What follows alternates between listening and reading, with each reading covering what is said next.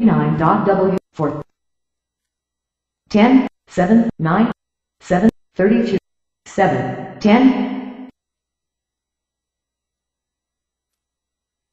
B B B. Ballet Volta H 5 5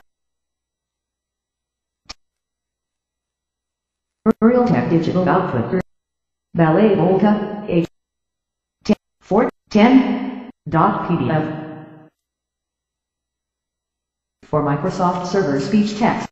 Ballet Volta 8 9二零一四零五零四嘉里金堂店专辑重要文章由张明忠老师提供。http: 冒号双斜线 www 点 myweb 点 highnet 点 net 斜线周斜线 religion 底线零一点 htn 教教一字自古以来有几重意思，都是以礼仪为核心所延伸出来的。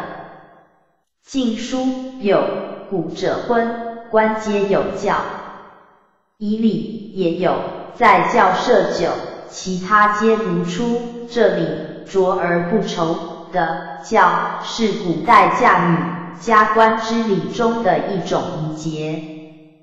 教。的另外一种意义乃僧道设坛祈神求福的仪式。昭明文选为教诸神李太乙。隋书为夜中于星辰之下盛放酒釜，秉耳必物立四天皇太乙，四五星列宿，为书如上章之以以奏之，名之为教。自汉末道教盛行之后，教字的意义更往宗教意味靠近。从南北朝开始，历代朝廷为求风调雨顺、国泰民安，大多有建教的记忆，而到了元、明两代更为盛行。当道教通俗信仰跟随着汉人移垦在台湾生根之后，由于闽的风俗一向信鬼好词，而早期移民于开拓之际多有因渡海、瘴疠、械斗而死的，为超度这些无主孤魂，建教的目的遂兼其神酬恩与施鬼祭魂。种类。古代建教可分宫廷建教及百姓建教，宫廷举办的最为隆重，由帝王举办的称罗天大教，诸侯举办的为齐天大教，其规模都极为盛大，现今已不可见。然而台湾于一千九百八十年及一千九百八十四年。分别在高雄关帝庙及台南市鹿耳门天后宫举行过名为罗天大教的隆重祭典，这是极少有的例子。至于台湾民间的教祭，则种类繁多，常见的有庆城教、祈安教、王教、神明诞教、中原教、水教、火教、鹿教等等。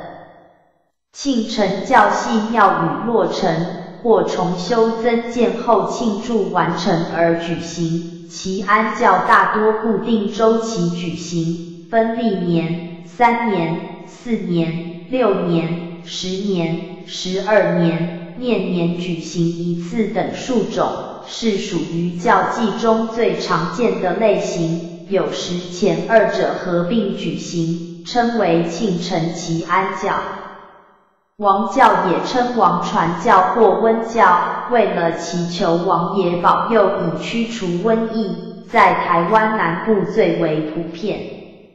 神明诞教则为神明生日时所做的祭典，通常只有一天。中元教顾名思义，乃于中元节时为普渡孤魂野鬼而设教。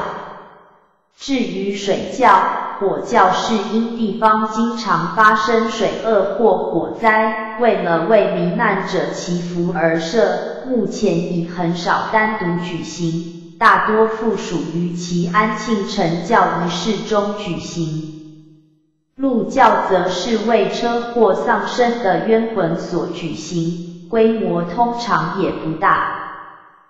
打教祭典则经常以记其天数的长短，显示其规模的大小，习称几朝教。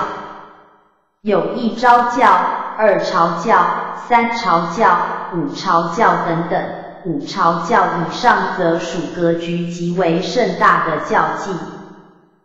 早期台湾民间教典的举行都是好几年才举行一次，每次打教就要动员不少的人力、金钱及物资，所以民间往往要好几年的休养生息，才有能力举办下一次教典。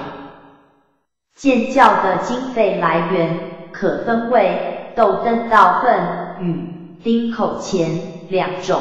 斗灯设于道场内，其名目可多达数百个，且分等级。重要的如天官守、地官守、水官守等，其中尚有象征教育全体信徒的总斗灯一个。斗灯按名目的等级，由信徒任捐多寡不等的款额。丁口钱则是向祭祀圈内的信徒收取小额金钱，男称丁，女称口，而牛也算一口。传统上口钱是丁钱的一半。现在因工商社会使人口流动，人与土地的认属关系变淡，收丁口钱制度也多改为提元金或自由乐捐。教祭的程序，教祭的程序、祭仪以及相关习俗各地有别，但大体说来，要先组织临时性的教局，建教筹备委员会，负责规划打教的相关事宜。再者，要聘请道士团，负责教典所有的科仪。同一时间内也会招募各斗手，确定各坛的角头及坛主，并将各坛的工作分别交付坛主执行。其次是上书预告，目的是向玉皇大帝及天地诸神奏报建教事由等，恭请诸神届时光临建教，多在教典前两三个月举行。接着再建立法坛，法坛是道士施法和建教主祭拜的神圣场所，有主坛、内坛与副坛、外坛之别。主坛就设在主办的庙宇内，由道士们负责搭设、布置祭坛。副坛通常由各区域的角头庙委办。再者，教场需树立。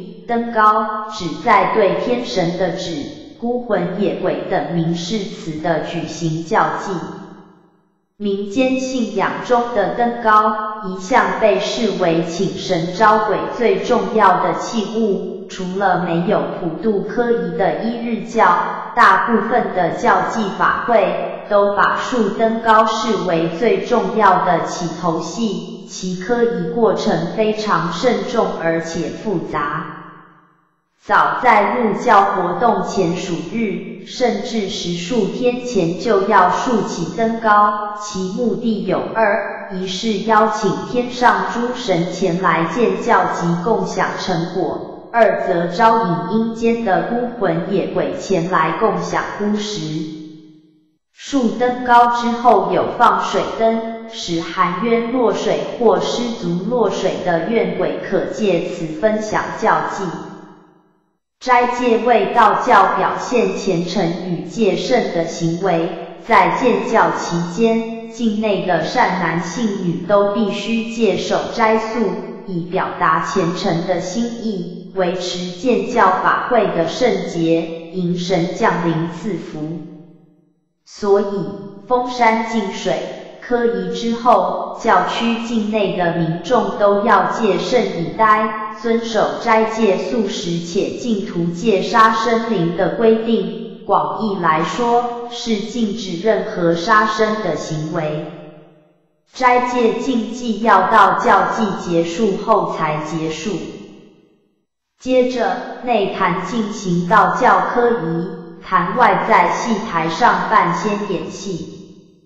翌日，家家户户备妥身礼拜天公，谢三界酬答神恩以及祭祖。傍晚时分，则要准备祭品普渡，到晚上普渡结束后开婚宴请亲友，到午夜由道士行谢登高礼，将高杆拆除，教典才圆满结束。道教科仪，在中国历史上。道教科仪曾经数度成为国家的祭典仪式，因此道教的形式之科与行礼之仪便格外的慎重。科仪即指依照规范的动作、程序和礼节法事，而不同派别的科仪会有不同特色，但主要有起师圣、入户、发炉、请神、敬表。转谢、复炉、出户、谢师圣等环节所组成。此外，在科仪进行以前，通常会先进行不虚和洒净的仪式。不虚，不虚的意思即在太虚中漫步。道士在已设置的祭坛中。吟唱《玉金山不虚经》，同时进叩齿、念经等仪式，配合刚步或雨步步法，借着脚踏星斗的方阵，不虚旋绕而移达天界。不虚可以是一种模拟升天的过程。洒净，洒净的目的是扫除晦气和结界封坛，使坛场洁净，避免教祭所修之功被邪会所破坏。起师圣，起师圣是一请神仪式，道士逐一称念圣号，并行香供献。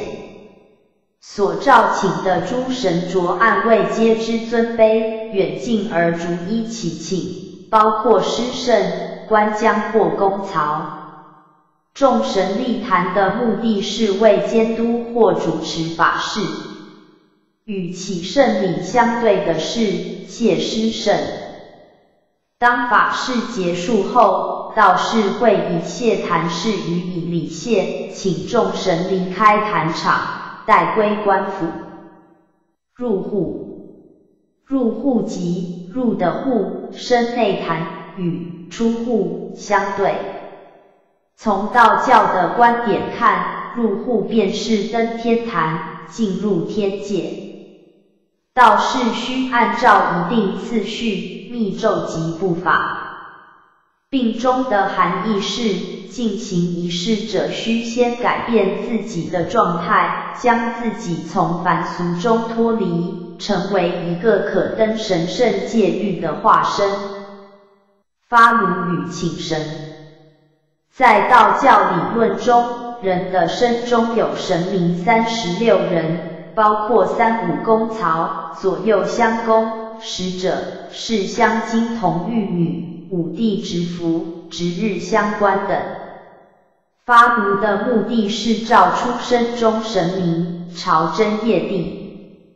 其中包括仪式的细节，包括礼师、卫灵、明法鼓和发炉。与发炉相对的是复炉，亦称存天福炉，即将所出之生神归还本位。进表与转经，进表即成奏表之一业地之法事，此环节为整个道教科仪的核心。进表仪式包括宣词及数岁修法事的时间、地点、姓氏之名、其幼之意及各朝科仪所刻叶天阙帝君的圣号。纲部由二十八宿起，次位三十二天，再次位南斗、北斗、三台、五行、九宫，最后向天门踏行三步以进地表文。道士到达天门之前，随即伏地存想成此表，称为符章。成表完毕后，再出天门，谢恩而退。法器，法器是指道教仪式中所使用的各种用具，无论举行何种道教仪式，均离不开法器。在道教仪式上使用法器，主要是为了使仪式具有法力的效能，从而呈现出强烈的节奏感与庄严肃穆的宗教气氛。因此。当道士在执行仪式时，除了要注重坛场的设置，如香炉、贡品等的摆设和本身的服饰，如头上的道冠、道经、身上的道服、道履等外，还要因应仪式所需而使用何种法器。此等法器，或有用以辟邪驱魔的。或有用以照神遣将的，或有用以进随坛场的，或有用以节制经诵的等。地中亦称三清灵、法灵、法中，道士行仪时的法器。地中有手柄，柄端称剑、城、山，字形，是道教三清的象征。代表玉清元始天尊、上清灵宝天尊、太清道德天尊。地中有降神、驱魔的作用。法师施法时以单手持柄摇动，其叮铃叮铃的声音，意味震动法灵、神鬼贤亲。木鱼木质法器，又称木鼓。道教行仪时用以敲击节奏，以控制诵经速度。由于鱼昼夜都不合眼，所以把木头雕刻成鱼形，借以警戒修行者应昼夜思道，切勿懈怠。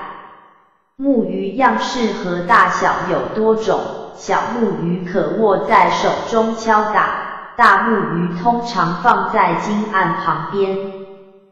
鼓皮面木质法器有圆筒形、扁圆形，大小两种。道观早晨开镜，晚上止境时均有击鼓为号者。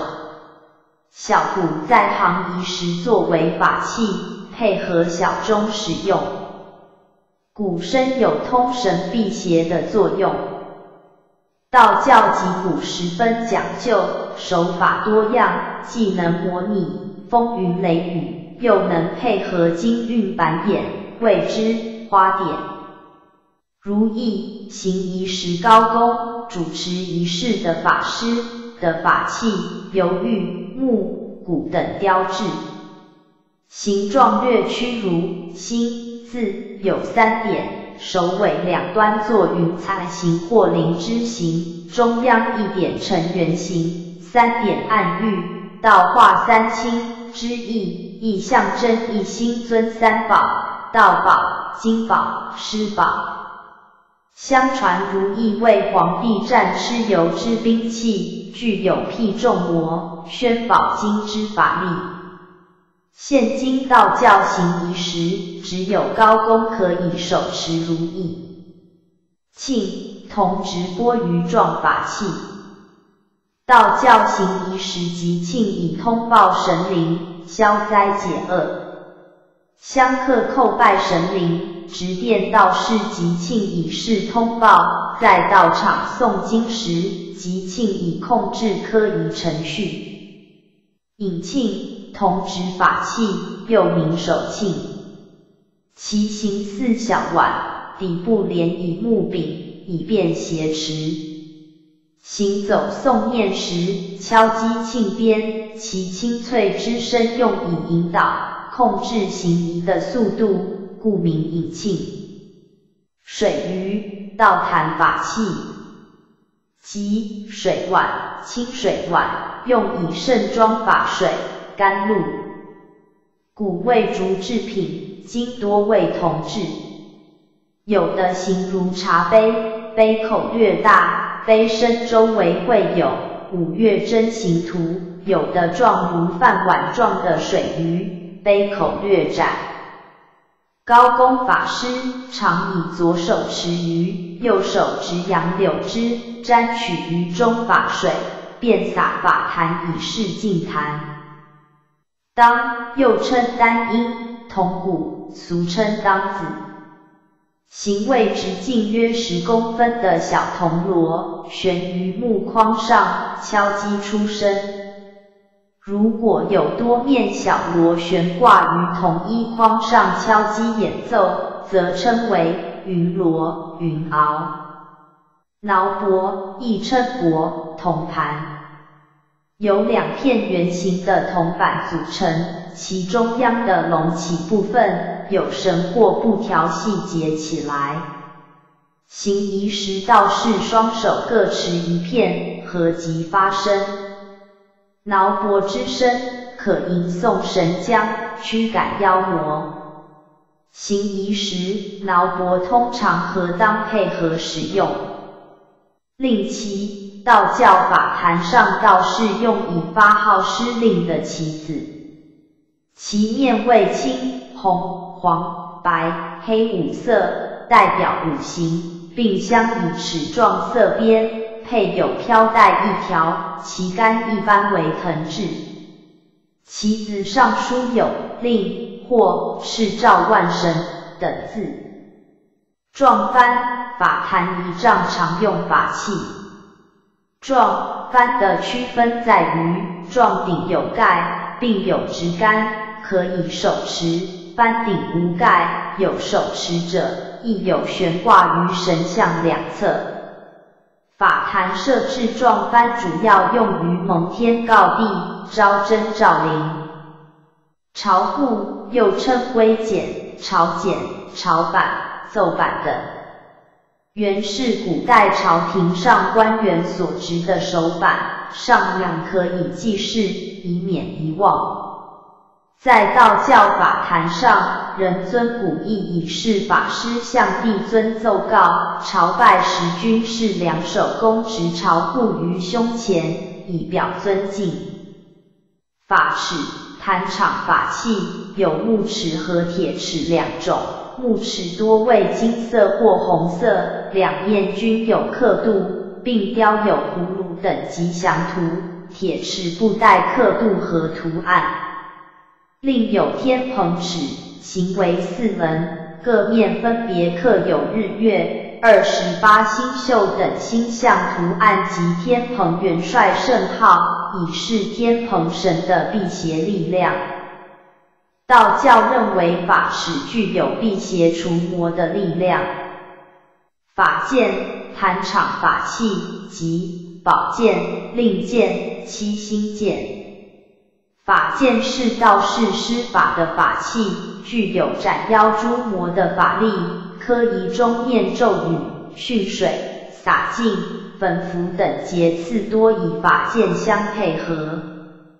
法剑有金属和木质两种，金属剑的剑身两面各镶有北斗七星图案，剑柄则刻有龙、符图案。桃木剑的剑身亦刻有符咒。法印，道士上奏天庭文书之印信，也是行使神力的法物。法坛上使用的青瓷、表彰、译文、宝旗、符箓多盖法印，以象征神灵的加持和颁行。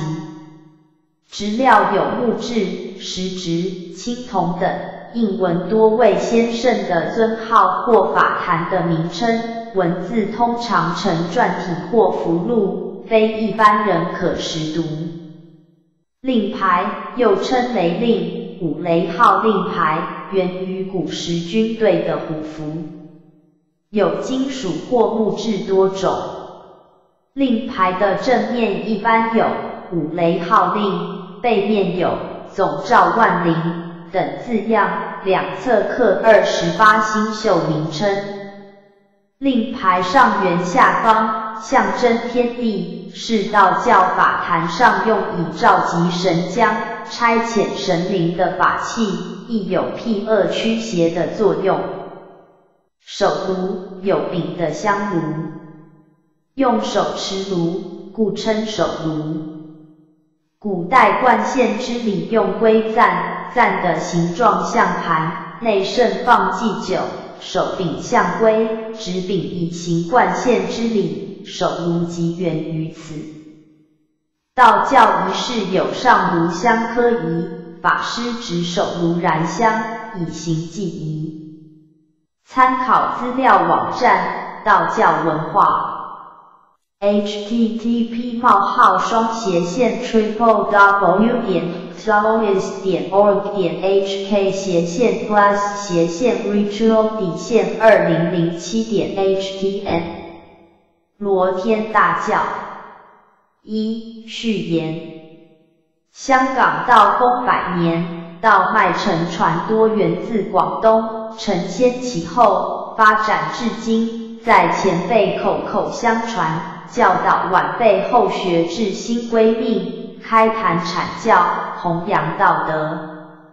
在集众之诚和努力耕耘之下，不觉间，道教在香港已渐成风气，居民道心日重。尤其回归之后，香港道教教团与国内道教祖庭和公关的道义日趋紧密，道务与交流频繁。香港道教联合会成立于一九六七年，旨在团结和联络本港道观教团，宣扬教义及组织宗教活动。道教经义相信敬天地，信鬼神，他的神仙信仰和修身哲学是人类文明的宇宙观和生命观，而道教科仪是沟通三界的道术。以达至天人合一，通过一饭和礼诵经本，与先真神灵接触，祈求庇佑、赐福消灾。因此，科仪斋教是宗教的首要。据历史的记载，古时的皇帝常见诏令起建金鹿道场。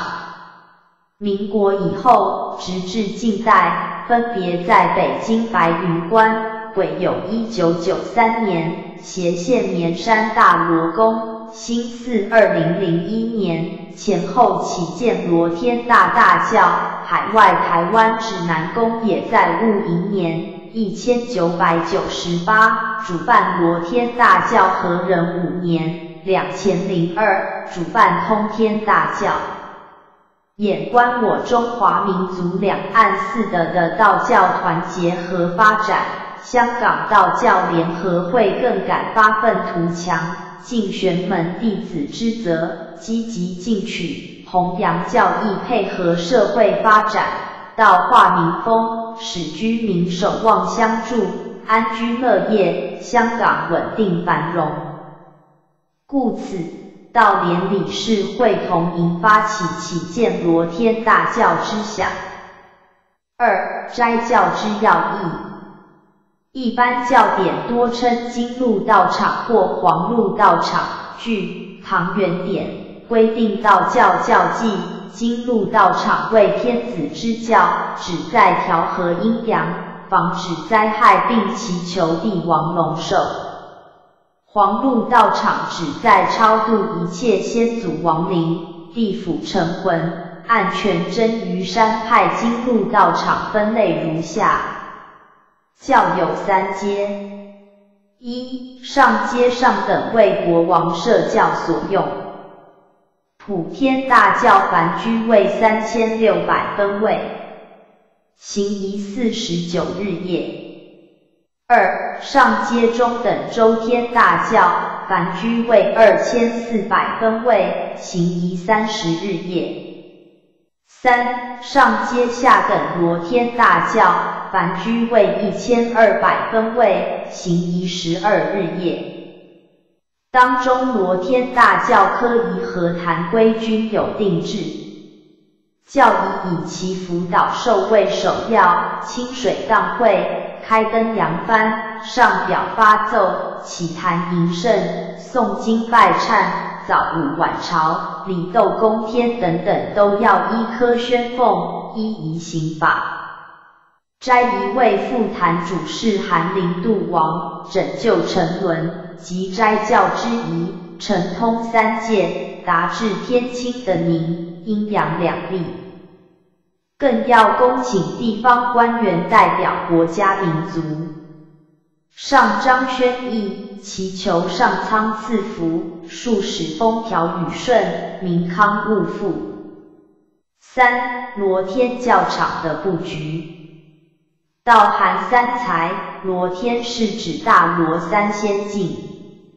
李斗金云：天意生水的六成形，东南西北上下称六合。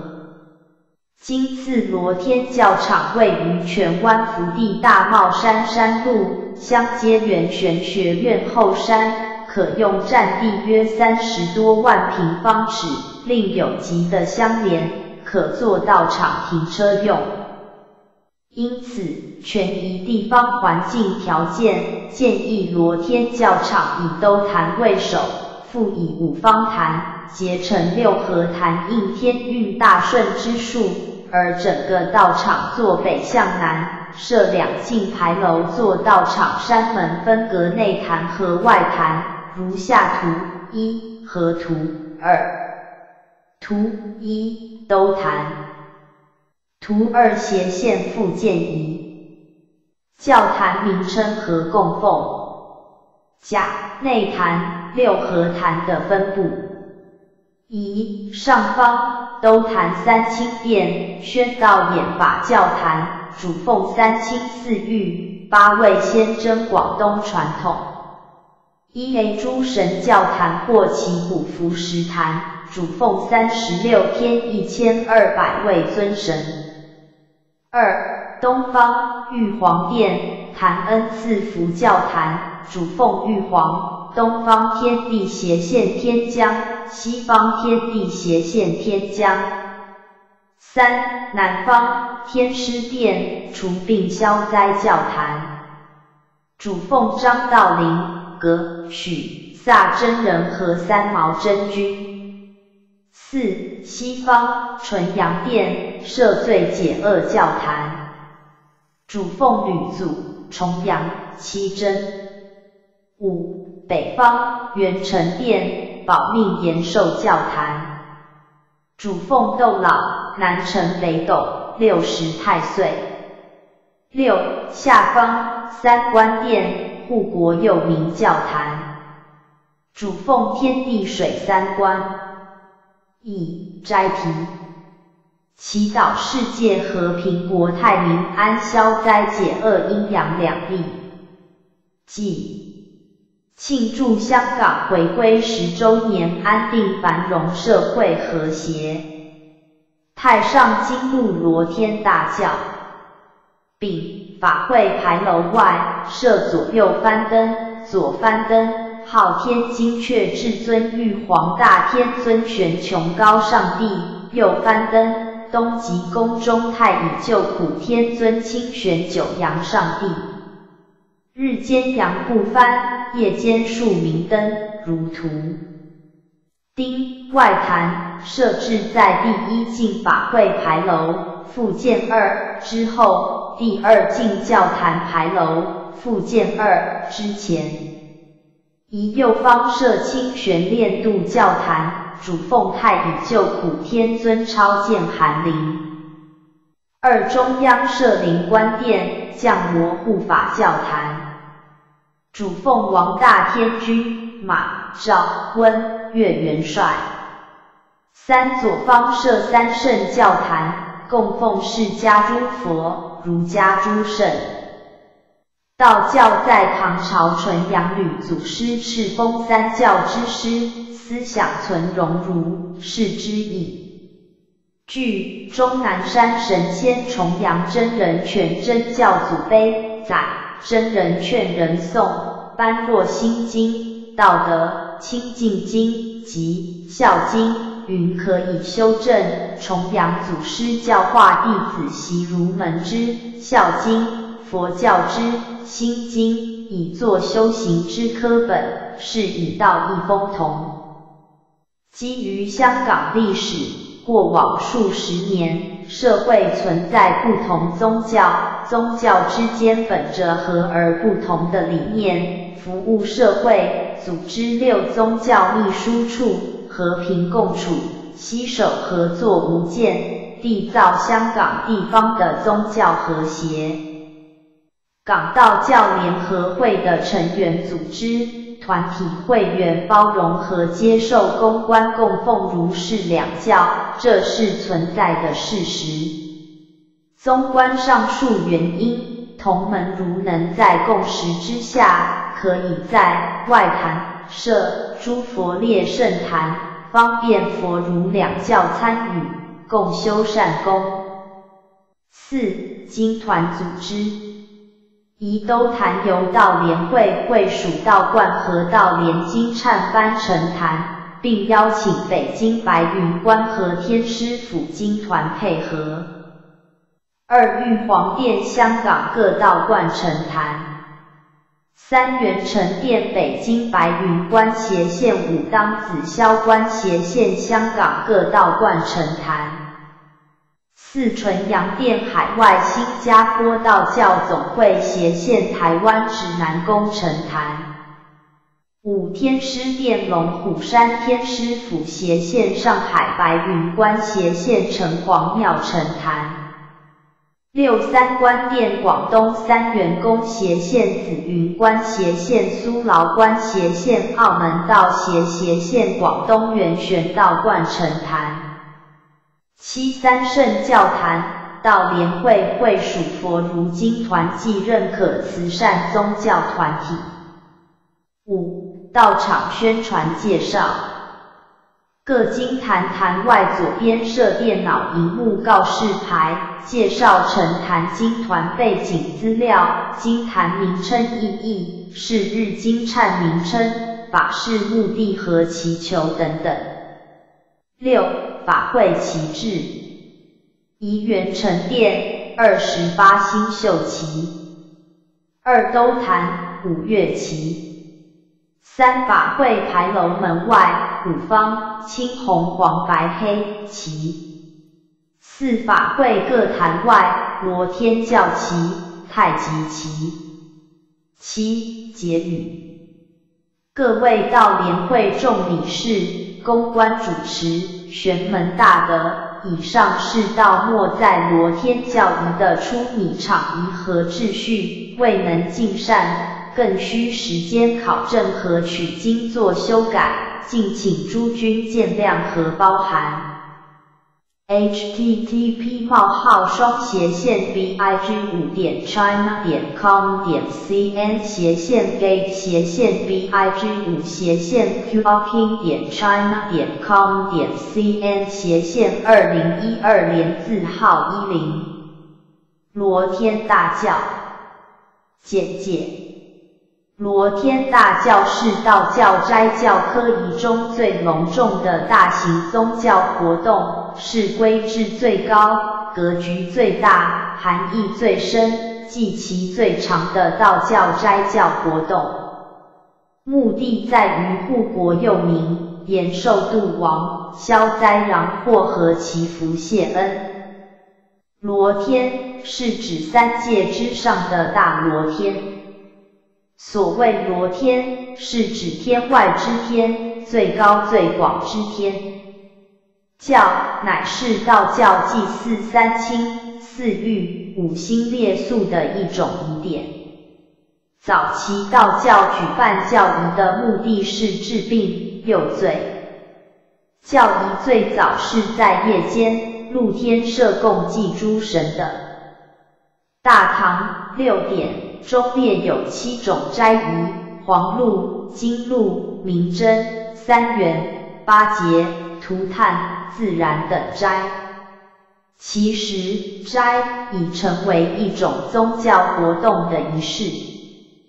唐以后，斋与教开始并成。宋代王钦作者《罗天大教仪》道教遂具有了普天大教、周天大教、罗天大教等盛大的祭祀仪。明代邓仲修等编定《大明玄教历程斋教仪》时，将斋教合并，成为道教宗教科仪的统称。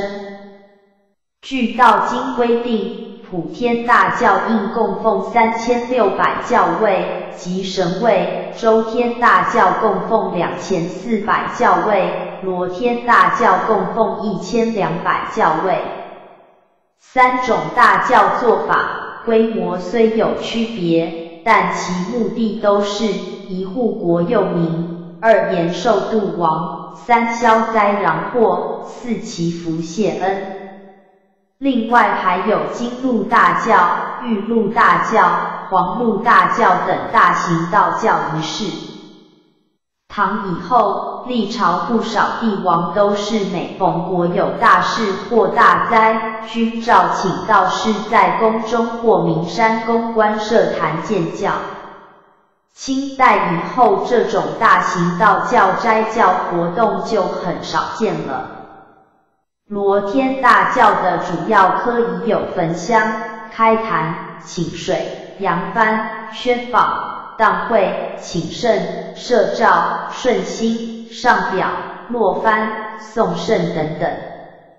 在诵经礼拜时，还伴有优美的道教音乐和动作，队形变化多样的雨步及踏钢斗。武当山举行史上规模最大罗天大教。二零一二年恰逢武当大兴六百年。十月十七日上午，来自香港、澳门、新加坡、台湾、泰国、马来西亚及中国大陆的二十余个道教经团的千余名道长齐聚湖北武当山举行罗天大教，在玉虚宫前设坛祭祀，祈福苍生。罗天大教是道教斋教科仪中最隆重的大型宗教活动。此次活动是武当山有史以来第二次举行罗天大教，也是史上规模最大的一次道教法会。而武当山上第一次举行罗天大教，还得追溯到明朝年间。当天上午，中国道教协会副会长张继宇庄严地诵读祭典祝文，祈福真武祖师保佑世界和平、人类和睦、唱善扬德、祈痛的爱。中国道教协会会长任法荣宣布，罗天大教开始，玉虚宫门开启。来自海内外的二十一个道教经团，在仪仗队、乐师、京师、高公、华盖、日月善的带领下，列队从玉虚宫徒步到武当山文化广场请神台迎神。按照活动安排，十七日至二十六日，在武当山七个宫关共设二十八个法坛。各经团将在各自坛场依科演法祈祷，全体经团还将于二十六日下午在玉虚宫举行送神仪式。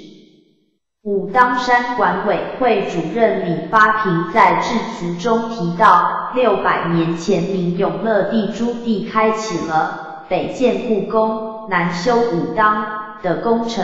六百年后，武当山下的丹江口水库成为国家工程，南水北调，中线的水源地，一泓清水自此北上，润泽津津。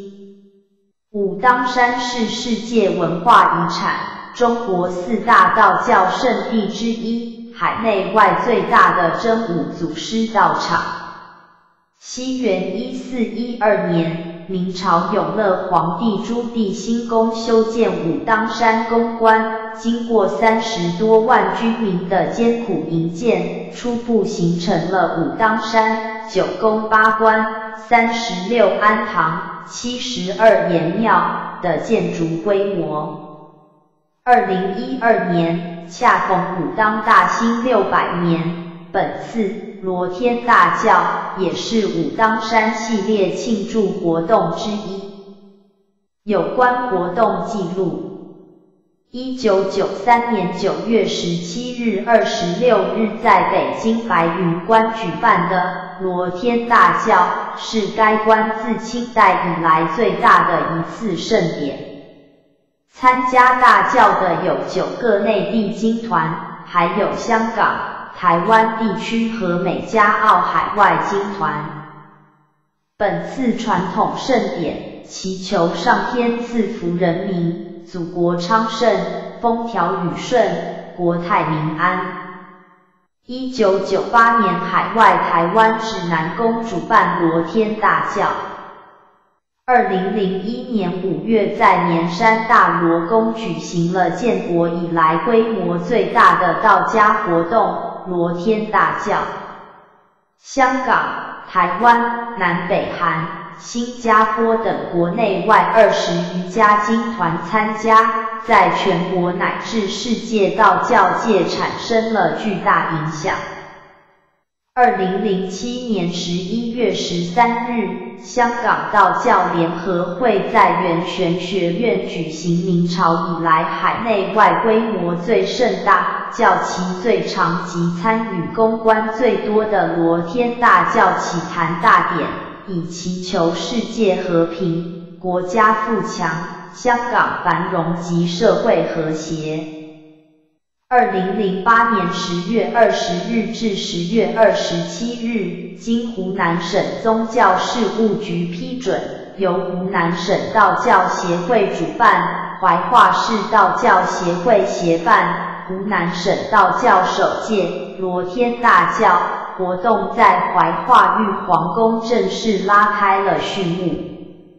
为期八天，是我市有史以来规模最大、时间最长的宗教活动。前来参加本次活动的有来自香港、江西、上海、湖北、湖南的全国各地二十多个道教团体及高道前来讲经。二零一一年三月十九日，中国道教罗天大教祈福会在武汉长春观举行。此次法会将持续九天时间。作为道教极为隆重的祭天法仪，罗天大教是道教祭祀规格最高、祭期最长、规模最大的斋教法事。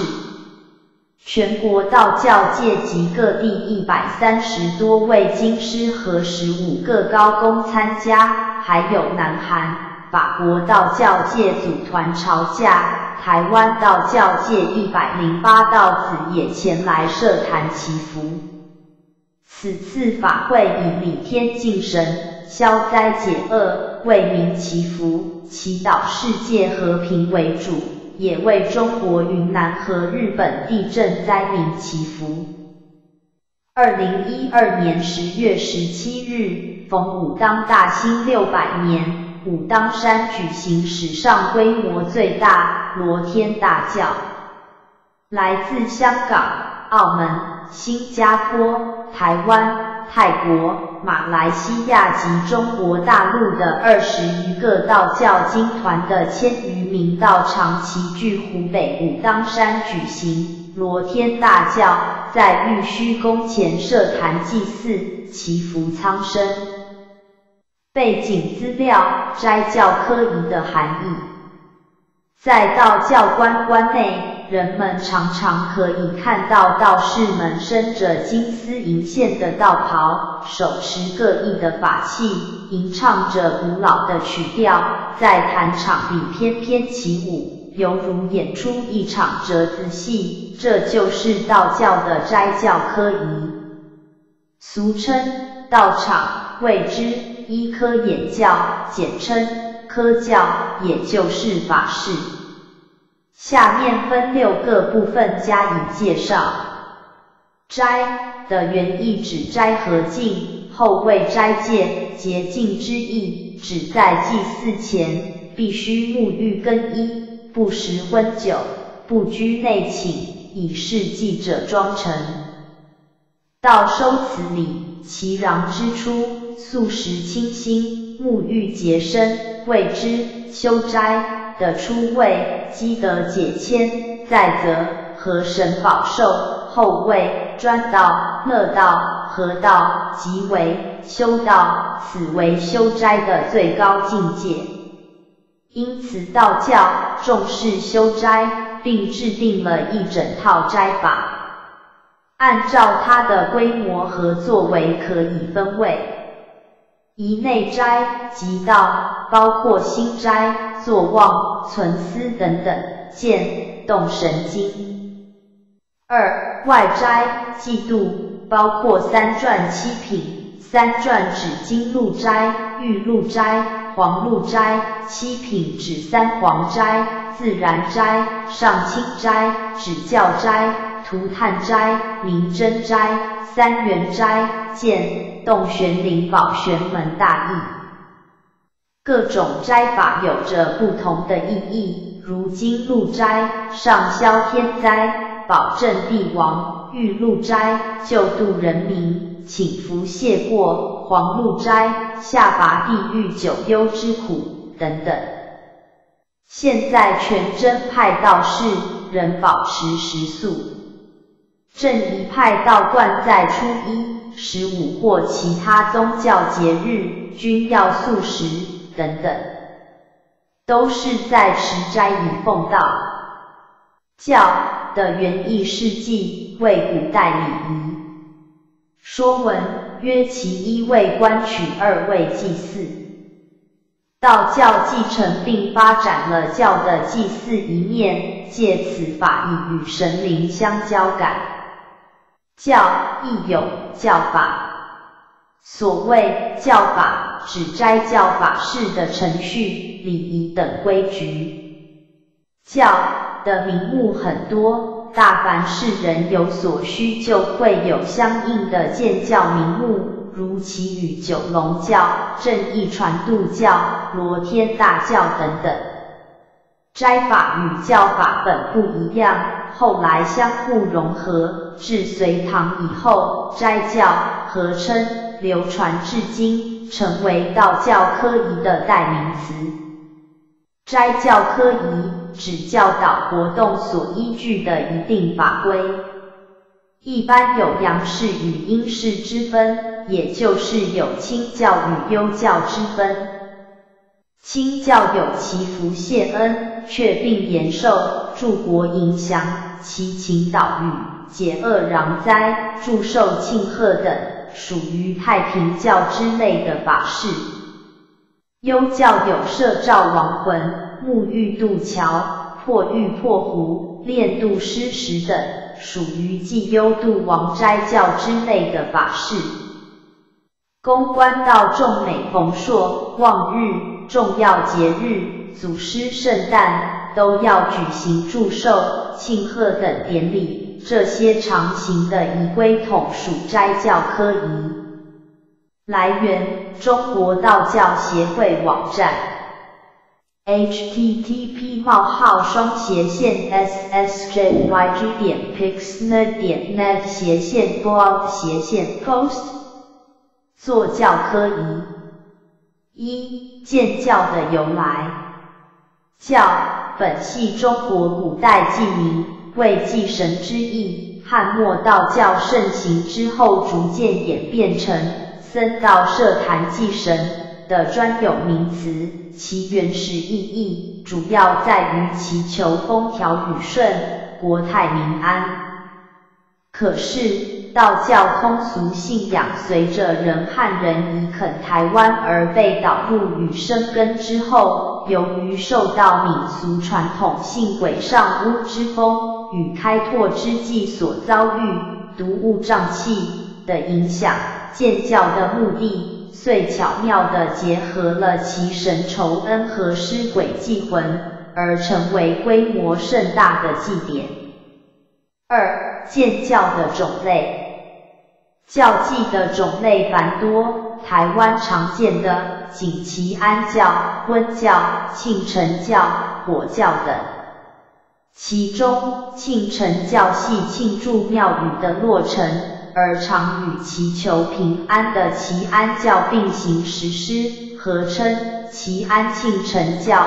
教祭中也以此者居多。因凶荒成瘟疫流行，而祈祷平安温教，以及渭水火灾死者祈福的水教、火教都较少见，往往附属于祈安庆辰教仪式中举行。以教期的天数分，则有一朝教、二期教、三朝教、五朝教等。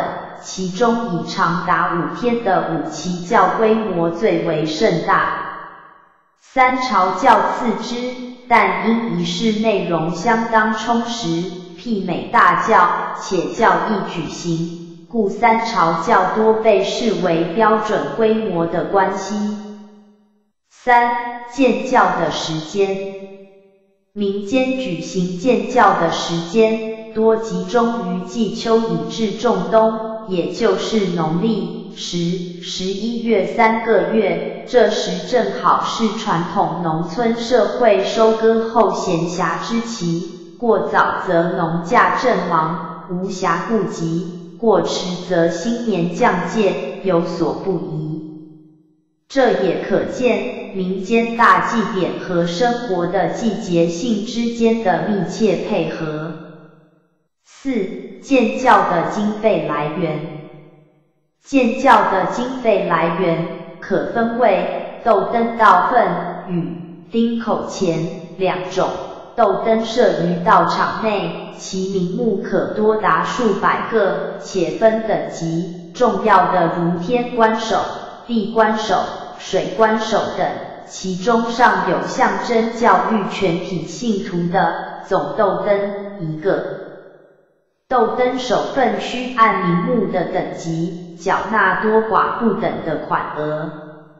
由于信徒对豆灯有着莫大的关切，在认捐时十分踊跃，争先恐后书成，以其神明降福，是为可靠的财源。丁口钱则是向坠狱内的信徒，不分男丁女口。每人捐献小额金钱，以资建教费用，是沿用已久的筹款方式。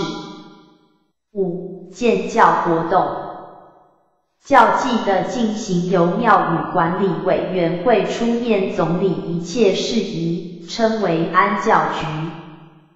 坠祭时，教场需竖灯高，旨在对天神、地旨。孤魂野鬼等名示词的特举行教祭，登高通常立在庙前，阴阳分开，左边对天界神旨，右干则对阴间幽灵。对神旨的中央最高杆须悬天灯。竖登高之后有放水灯，使含冤落水或失足落水的怨鬼可借此分享教祭。在教祭期间，教育需全面素食净土，市场亦禁卖于新婚。教祭最终日至当晚十二结束，祭戒禁忌才解除。议程：家家户户备妥生礼，拜天公。中午举行过火仪式，信众踩过火堆，丝帛无伤，以显示降福辟邪的神力。傍晚则家家户户备祭品普渡，到晚上普渡结束，家家户户大开庭席，宴请亲友。到午夜，游道士行谢灯高礼，将高杆拆除，教典才圆满结束。建教仪式结束后，供奉神位的正厅，一个月内谢绝外部进入参拜。保持圣堂洁净，唯恐受外人感染污秽之气，影响建教成果。建教的完成，不仅了常民众的心愿，带来心神上的安宁，而且就古代的农村生活而言，还具有娱乐的效果，使民众在农忙之余得以欢乐一番。更促进人际之间的和睦。而在今日人际关系日趋生疏冷漠的工商业社会中，若大家不铺张浪费，实亦不失为一项有意义的交易活动。参考资料：http: 冒号双斜线 content 点 edu 点 tw 斜线 local 斜线 time 斜线 conway 斜线 two 二点 htm。可以在建教活动中各项仪式均各具意义，其过程为：一搭坛，在所主办的庙宇前搭内。外坛、内坛在建教期间严密封禁，除道士及建教工作人员外，其他人均不得进入。其目的在保持圣地的清洁。外坛则是开放的。二树登高，树登高是对天神、地旨、鬼等昭告此的举行建教祭仪，并欢迎共襄盛举之意。在建教活动的初期，信众已陆续在大街小巷竖灯高，竖灯高系以长长的竹竿上悬光明灯，竖了多少个灯，就代表该户有几个男丁，灯坑则放置豆、丁、稻等物。三请水，指在敬请水神赐予圣水，用以清净道场坛宇。四绕境，在烧王船前后，主办的庙社也得动员信众徒步绕境。烧王船之前，系由全体信众自主办的庙前出发，长列队伍浩浩荡荡行至外地，是为由外境。烧王船后，则由内境绕经协定大街小巷，沿途由各义阵表演，有宋江阵、旗阵。跳鼓、都镇、十二国解阵、五虎将、南管、北管镇等六七十个镇头，其目的在祈求神明保佑和敬平安。五烧王船，整个建教活动的高潮即是烧王船。据了解，烧王船的习俗是延续福建漳州和泉州先民的传统。烧王船的典故，起因为古时常瘟疫，在医学不发达时，信徒求签，问卦造王船，改种江油天府，以驱除病魔。由于在建教日期敲定时必须恭请众神莅临侍卫，请王，活动结束后当然也得恭送众神，称为送王。在送王的当天早上，在主办的庙社前就已挤满了各地涌入的香客。时间一到，王船由数百名志愿为王爷服务的壮丁，手拉大绳索牵拉王船，缓缓地经过茄定路，在沿滨海公路抵达海边。王船行驶的前方由消防水车洒水。先行进入，象征为王爷开水路。之后由各镇头及民众、香客前呼后拥的护驾前行，所经之处，街道为之拥塞，几近水泄不通。王船托底定位后，信徒分工合作，将天载的金纸、柴米、盐包、糖包及船上的贵重物品。推至在船上及船边，随即在神教及诸多阵头卖力操演下，王船起火燃烧，恭送王爷出航，同时也祈求王爷保佑渔民在海上能平安丰收。六过火，俗称踏火，主要是在提高神明的神力，同时有辟邪作用。七普渡，此为建教最后一个祭礼，家家户户摆出祭品，普渡天神、地址、孤魂野鬼。对于前来之乞丐，亦散发钱财与他们，整个建教活动亦圆满结束。参考资料：http: 冒号双斜线 triple w 点 kccc 点 gov 点 tw 斜线 web 斜线 ks 斜线 ks 斜线 sours。建教解连赦罪。台湾民间盛行建教，每到农历九、十、十一等月份，到处都可以看到教祭活动的举行。台湾建教有其完整的建教科仪，很多科仪都极有特色，而且具有深层的意义。一般人所能看到的教祭科仪，除了登高放水灯等外场的仪式之外，很多属于道场内谈的道士戏，大部分的人都是无缘一见的。解连赦罪是大部分建教科仪中所不可少的。科仪目的在为善信们解开冤结，赦免大家的罪过。西方的宗教都认为人是有罪的，强调真主才能赦免他们的罪，死后才能升上天堂。道教也有类似的说法，所以借着教典的科仪，大公无私的替善信解开冤结。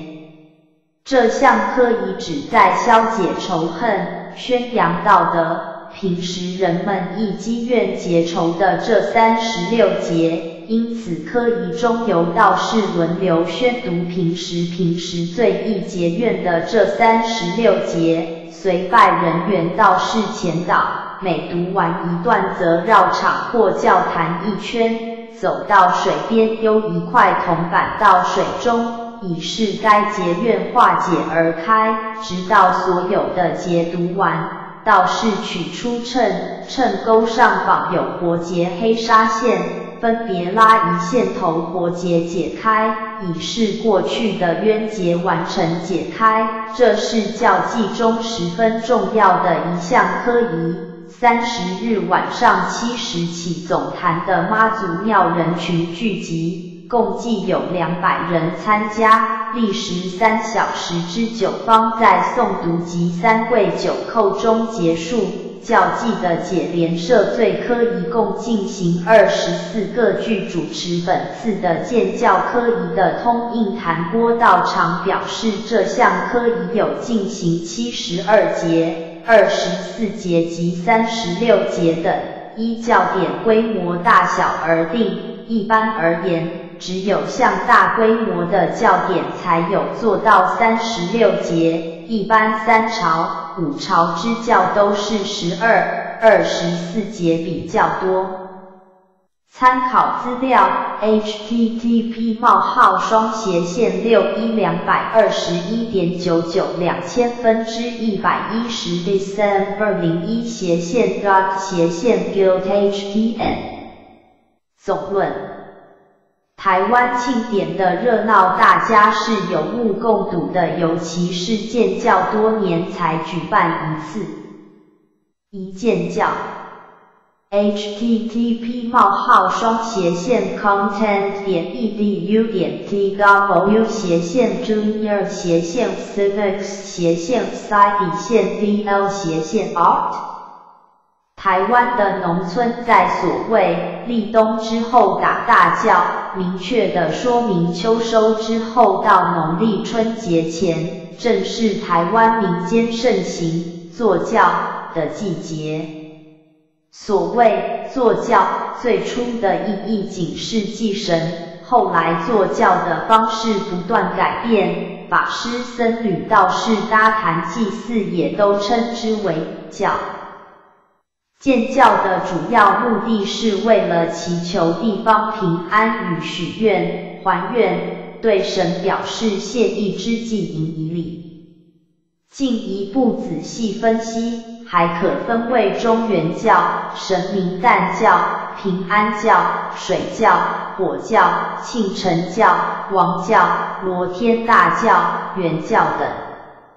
所谓坐教，最初的意义仅是祭神，但现在可引申为祈安与还愿概括之。大体而言，台湾较重要的教选择如下：中原教，传统的中原祭典，原为庆祝的关大帝寿诞而建教祭祀，后因与佛教盂兰盆会混揉一体，以致偏重普度。而今仍保有做教规模与形式的，仅于基隆的中原祭。神明诞教，旧时的民间信仰，每逢神明寿诞，大都设教庆祝。平安教一般为祈愿或还愿而建的清教，此教为祈求或者感谢神明庇佑平安而建，素来最为普遍且为人所重视。水教由于从前的水利工程不甚完备。河川经常泛滥成灾，淹湿良田、村庄、灾区居民为祈求往后平安，乃行水教以祭水神，并赐冤死水中的孤魂野鬼。此外，也些人有事一般教祭中的放水灯或请水仪式为水教之一类。火教，火教与水教的缘由相似。为避回路之灾而建，祈求全境平安。庆成教一般寺庙于初建完成，都要建庆成教来庆祝，并祈求神明同安。王教，王教之目的乃为驱逐瘟疫，送瘟亡。元教一般不定期稍具规模的教典于教成后三。五年内，为感谢众神庇佑诸事顺利何静安，需另建一小教以示功德圆满，教事完成。造教，http: 冒号双斜线 tongsu 点 ncc 点 to 斜线 temple event 点 htm 预告上苍搭坛天宫坛天师坛各教坛树登高，请境内外诸神佛入坛见教斋戒净土风净山水净报安护法迦兰，请斗灯入坛安斗灯起鼓发表见教起功，请水观净坛出破军安龙谢土安造军燃放水灯莲花灯发诸现任齐天仇神普施孤魂施放焰口谢。坛员工送神回宫，公教民俗建教活动，指集体联合前来庙观请道士设斋建教活动，一般称之为打工教，以相同一人集合二三十人或者更多人联合打教，称公教，一般以乡间为多。一小庙做小教，大庙建大教。http: 冒号双斜线 triple w 点 contest 点 edu 点 tw 斜线八七斜线 n 收斜线四斜线 twn 四。台湾民间的建教分定期教与不定期教。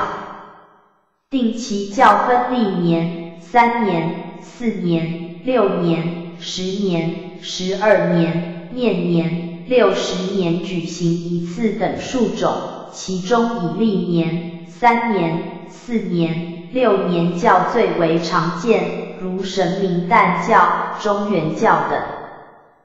不定期教乃因某些特定目的而举行的教典，如水教、大教、齐安教、庆成教等。例如嘉义县布袋镇或沟里的建德宫，于民国七十六年农历十一月八日所举行的戊辰年庆辰三朝齐安清教大典三天，那时人山人海，盛况空前，热闹非凡，充分表达前进天地、拜谢神旨之夙愿。建教的天数。人们以规模大小做标准，举行一天的教称一朝教，二天称二朝，三天称三朝，如前述所提及之。戊辰年庆辰三朝齐安清教即是，最多可达四十九朝之久。如民国七十三年，台南鹿耳门的天后宫所举行的四十九朝之罗天大教，为台湾教期最长的纪录。注一。又如过沟建德宫于民国八十五年农历五月初，有鉴于该宫供奉主神李福大千岁，伏击遇事，年运不佳，将有祸事灾难降临。并指示善男信女在宫前设香案祷祝上苍，祈求和敬平安。于是该宫管理委员会及善男信女接到香案前虔诚祷祝顶礼包拜，祈求上苍祝福。众人虔诚之心果得平安顺竹，村中果真无事，五谷丰收。于是筹划丙子年三朝齐安清教大典，经过数月的规划，责任分工设事。十月初五起进行迎神活动，进殿安坐，家家户户悬挂平安灯，贴教联，建设南坛、天宫坛。于十月十九日清晨于该宫前树立灯高，并于该日零时起至十月二十一晚上十二时，全村家家户户举行吃斋素十三天。十九日下午分南北两坛从事普渡法会，大法师主持，家家户户准备祭品于委员会所规划之法会地点摆设。自十月二十日至念二日三天教室及三朝齐安清教，于第三天清教大典邀请县长、各界人士及建教委员会，穿着古时民装，参加清教大典及剪彩仪式，由大法师主持大典，盛况空前，善男信女以虔诚之心，祈求和敬平安。风调雨顺，以求万物丰收，百业兴隆。注二，教的缘起与变迁。http: 冒号双斜线 home 点 com 点 com 点 tw 斜线 hot 斜线 fans 底线 mailbox 斜线 map 六连字号一点 htm 所谓教原始的意义，仅是祭神，它的由来很早，早在魏晋南北朝时代，约一千五百年前，《昭明文选》中宋玉、高唐赋即有教诸神、礼太乙的说法，意思是为众神建教，为太乙行礼仪。到隋朝时，已有在星空夜晚。陈设酒肉、饼饵、币物等祭品，以祭祀天皇、太乙诸神，并向上苍禀奏的记载，为真隋书，这也是教仪的一种。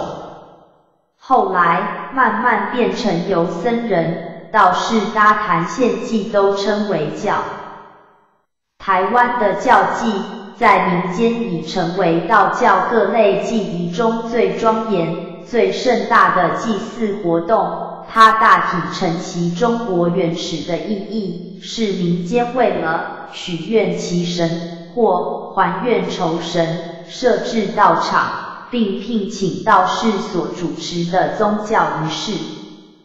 然而，台湾的道教发展早已融合了佛家悲悯的精神，再加上台湾特殊的历史背景。因台湾长期以来一直是个移民社会，其中许多移民客死异乡又无人道祭，后人一方面连续他们，一方面也担心魂魅作祟，所以人民建教的目的不仅仅是祈神酬恩，还添加了尸鬼祭魂的双重意义了。建教的类别。Http: 冒号双斜线 o 点中点 com 点 tw 斜线 hot 斜线 fans 底线 mailbox 斜线 map 六连字号二点 htm 台湾民间的建教分定期教与不定期教，定期教分历年、三年、四年、六年、十年、十二年。念年、六十年举行一次等数种，其中以历年、三年、四年、六年教最为常见，如神明诞教、中元教等。不定期教乃因某些特定目的而举行的教典，如水教、大教、祈安教、庆成教等。古代建教可分宫廷建教及百姓建教，宫廷举办的最为隆重，如由帝王举办的罗天大教，诸侯举办的齐天大教，其规模都极为盛大，现今已不可见。然而，台湾于一九八零年及一九八四年。分别在高雄关帝庙及台南市鹿耳门的天后宫举行过名为罗天大教的隆重祭典，这是极少有的例子。至于台湾民间百姓的教祭，名目种类非常繁多，常见的有庆成教、祈安教、王教、神明诞教、中元教、水教、火教、鹿教。等等，从名称看，可略知其意。如庆成教系庙宇落成或重修增建后庆祝完成而举行，其安教大多是有一固定周期举行，是属于教祭中最常见的类型，有时二者合并举行，称为庆成祈安教。王教也称王传教或温教，是因以前经常有瘟疫及传染病肆虐，人们希望借由王爷的保佑，将瘟疫尽快驱除。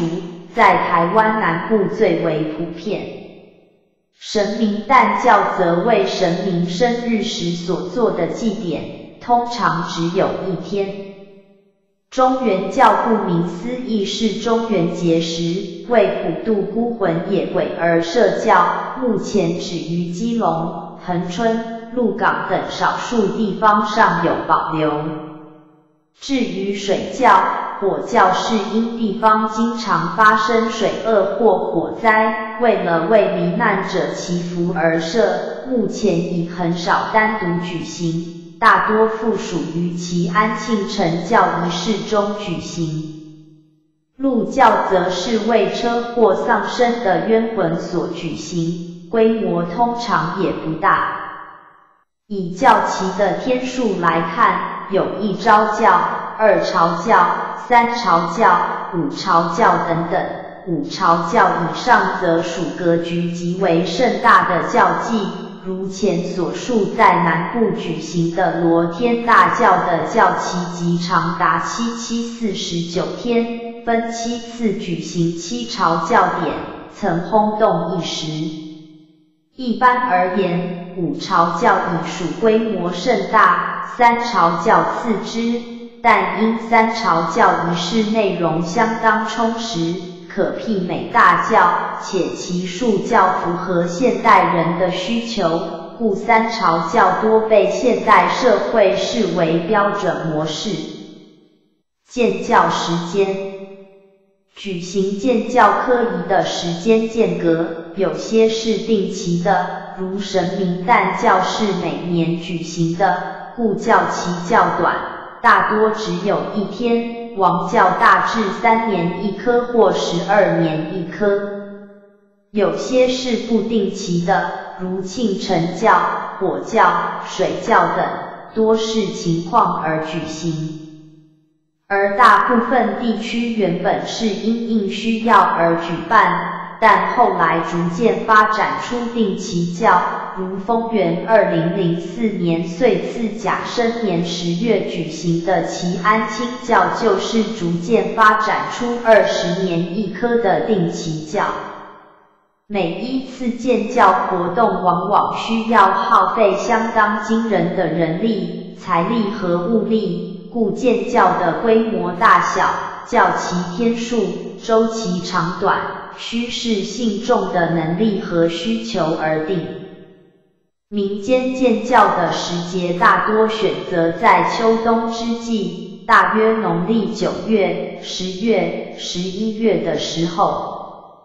此时正是传统农业社会庄稼收割完成的季节，大家较有余暇筹备敬神谢神事宜，且由于农作休耕，广大的空地正适合用于建立教坛，于是，一场热闹的祭典隆隆登场。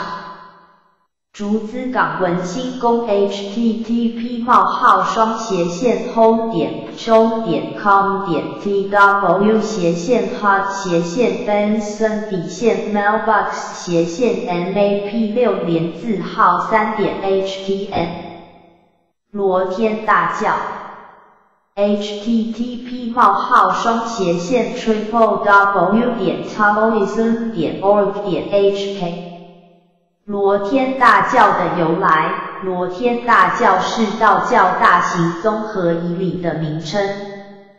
罗天即大罗天，道教指天之三界以上的极高处。无上密要称天之三界之上渺渺大罗，以罗天指社教之名，是即言其请降神灵数量之多。品位之高，以及社教时间之长、规模之大、社教目的之广泛、参与教仪的道士和祭祀、奉献的道教徒人数众多。教原是祭仪的意思。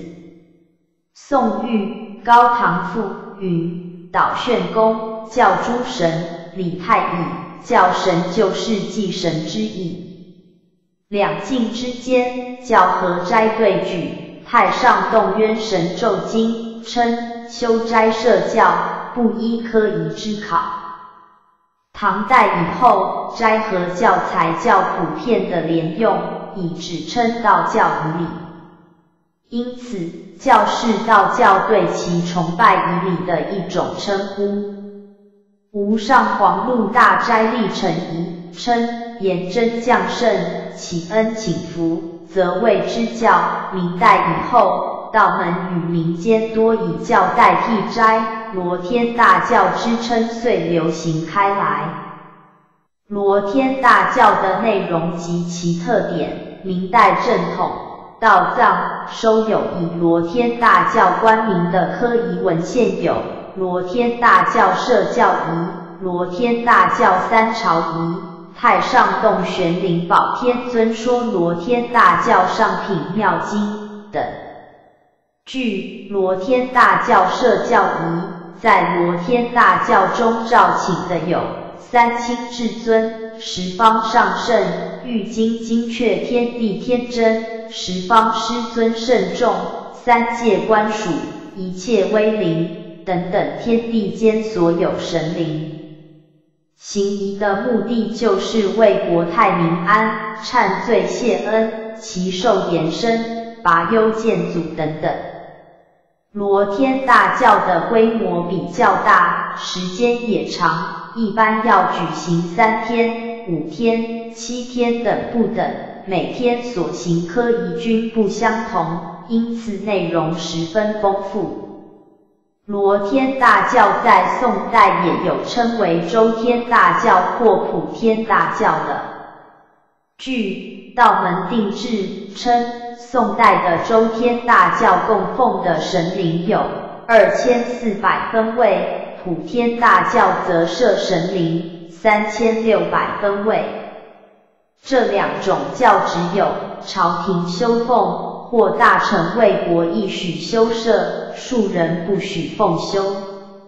现在香港、澳门地区和台湾省道教常有举行太平清教、祈安清教，据其内容，就是地区民众自己邀请道士举行的罗天大教，一炷香烧一百零八天。Http: 冒号双斜线 triple w 点 liberty times 点 com 点 tw 斜线二零零五斜线 new 斜线 January 斜线一。记者洪成洪高县报道。高雄县大树乡明园北极殿展开一百零八天罗天大教，信徒依神明旨意制作高萨六尺。直径三尺二，约五六层楼高的巨无霸香柱，造价四百面万元，大小造价在台湾绝无仅有。香柱还得多次测试，让它刚好可焚烧一百零八天。信徒声称这应是台湾最大香柱。大树乡河山村明园北极殿念八日起展开甲申年一零八天罗天大教，其中最吸引人的是矗立在广场的巨无霸香柱，庙方特地新建铁皮屋保护香火不熄。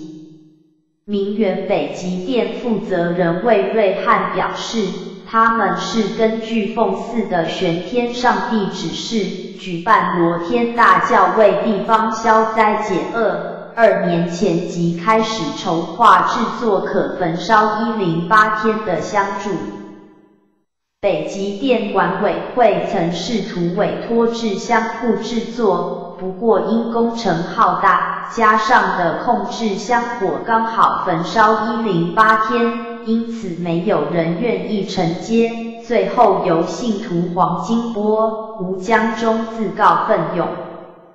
黄金波说，他和妹婿吴江中都没有制作香柱的经验，过程中完全凭着灵感，不仅的考量香柱高度、直径，最重要的就是它的焚烧速度，因此香柱密度相当重要。的拿捏准确，他们也是边做边修改，历经八个月才大功告成。除铁皮屋遮风挡雨外，北极电管委会萨于名委员的轮班念四小时守候，确保香火不熄。香柱每天焚烧约十公分，预计三月底焚烧见底。古代建教可分宫廷建教及百姓建教，宫廷举办的最为隆重，如由帝王举办的罗天大教，诸侯举办的齐天大教，其规模都极为盛大，现今已不可见。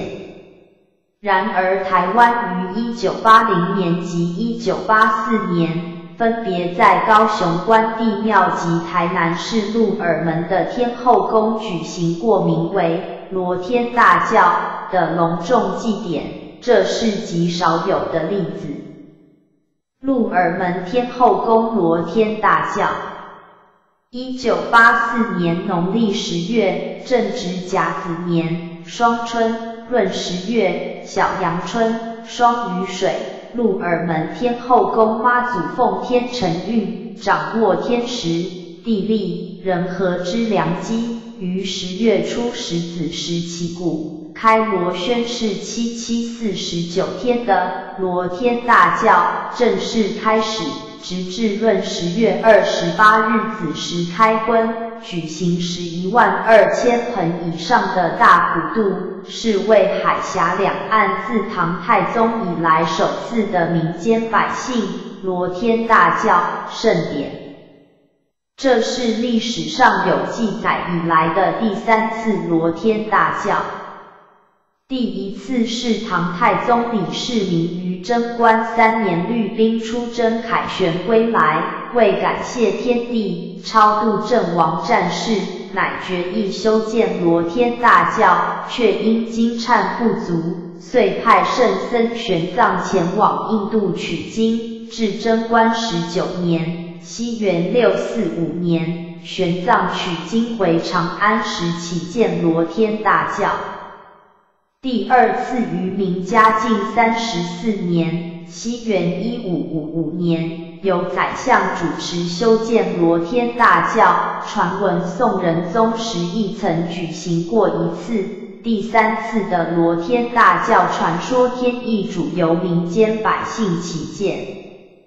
而台湾是中国历史上真正人民做主的国度，台南市又是台湾文化古迹的重镇，鹿耳门则是台郡咽喉、府城天险，是郑成功的登陆地，是改变台湾历史与台湾人命运的关键地点，并由引领阵亡、驻伊潮水而得以登陆。打败当时西方列强的荷兰人之天上圣母鹿尔门妈，传达上天意旨办理罗天大教，实属天时、地利、人和之盛世，圣和之士分子所强调的合理性与正当性。当时的罗天大教的科仪顺序是。第一次举办金鹿谢恩祈安方教，五朝之玉皇上帝教，自农历十月十日至十四日，一共五天，普渡一次。第二次举办金鹿三元降福方教，五朝之三元三界教，普渡一次。第三次金鹿攘迎祈安保净福教三朝之火教，第四次金鹿攘灾祈安福教五朝之王教，普渡一次。第五次金鹿九黄李斗消灾延寿教九朝之九黄李斗教，普渡一次。第六次金鹿殿安福海清教五朝之水教，普渡一次。接着举行黄鹿超度大斋、五朝之地府超度以及玉鹿血湖大斋、五朝之血教各普渡一次。第七次是齐安清教七朝，最后则是闰十月二十八日的开荤大普渡。此一罗天大教盛典可说是总集成当前台湾道教庙宇各类各式拜拜、普渡、赏兵、坐教之科仪与典范。尤其可贵的是一切仪式、道场布置、音乐、舞蹈、人员礼服等，均遵循古礼及进考究，奠定了日后鹿耳门天后宫文化祭之仪典基础。根据当时罗天大教旗牌官潘丰元说，大普渡的祭品数量必须要十一万盆以上。那是鹿耳门妈转达上天意旨，不能责怪鸡童或捉头狮子大开口。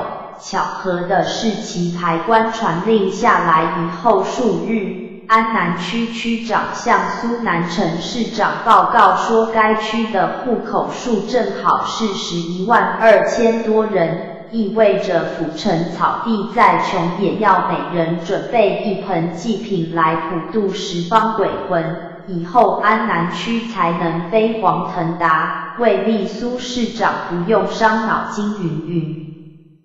而当时竟然也有人提供一百二十只甘蔗、一千二百斤重大猪公、一万斤白米等等，真是人算不如天算。很多无巧不成书的玄奇奥妙与神迹，都曾显示在各次教祭之时，令当时的苏市长啧啧称奇。当然，最重要的是，因为担任罗天大教总主会的苏市长与主持万民工商祈福法会的陈荣胜，事后都官运亨通，而经拔碑遴选出来的七大柱三十五会首等礼官，日后一法喜圆满，津津乐道于如此五百年难得遇上一次的功德。该次罗天大教的组织架构与礼序盖位，总主会下设七大柱三十五会首，主要职守分为大大主会、大主事、大主教、大主坛、大主簿、大主灯、大主灶、斗灯手与旗牌手等。大教之起教按御坛发表，经录起白，皆其依序进行。日课则每日二度转经礼忏，朝拜万灵。早晨起鼓，午时献供，临晚闹听奏乐，遵守不渝。自十月十日至闰十月十一日，分行其寿、攘灾、悼亡、度鬼之经、黄、玉露各科以礼序。罗天大教之元完教，则于一九八七年丁卯年十月十日盛大举行，与前相同组织架构，寻分灯、初起、重启、进表、灵宝万灵神灯，经入正教之教序进行，一切人事中规中矩，极为考究。总观罗天大教及其原教，台湾宗教界史无前例，堪为台湾大型教会之规高。民国六十九年农历二月二日起，关帝庙举行七七四十九天的罗天大教祈安庆辰，增福纳祥。教典由四汉六十四代张天师主持，市长王玉云担任主祭官，和应钦将军应邀剪彩。